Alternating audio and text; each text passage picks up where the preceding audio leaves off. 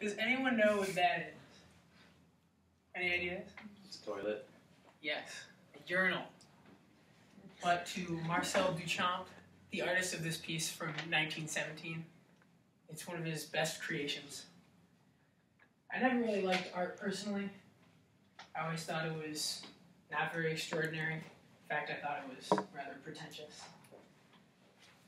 This was true for me until I had to write a six page research paper on art for my junior year of high school. Doing research for this project, I found a form of art known as Dadaism. And I love Dadaism. Doing that research showed me that art can be cool.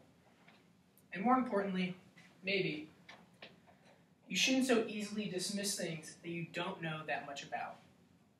You shouldn't so easily dismiss things that you don't know that much about.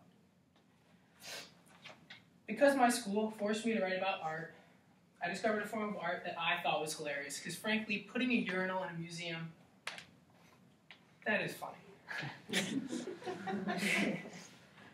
but my story of learning about different things can be applied to other categories, I guess.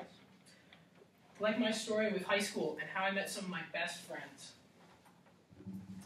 So growing up, I used to build things all the time, like skateboard ramps and other things. And one of my friends in sophomore year asked me if I could help him build sets for the school musical. Now, I didn't like plays. I thought they're, you know, because I don't like art. And I thought I was doing my friend a favor.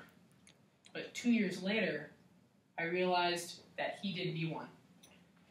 Going to stage crew that one day helped me find friends that I kept all the way to my senior year, and I think were some of my closest friends. I, however, am not the only one who can benefit from being open minded about things. DJ Kenny Everett was an English radio host from the 70s, and he was known for playing mostly rock music. Now, one day, a band came to him, and they said that they wanted to play a song. It was a long song, and it had opera in it. And at first, DJ was skeptical. I don't know. I play rock music. I don't know if people want to listen to long opera songs or whatever. But eventually he did it. And that song was Bohemian Rhapsody. After listening to me, I hope that everyone here now will think twice about dismissing things that they don't know that much about. Whether it be with my story in art or stage crew, or DJ Kenny's with trying new music. You should keep an open mind about things, even if you have a negative preconception about them. Thank you for listening.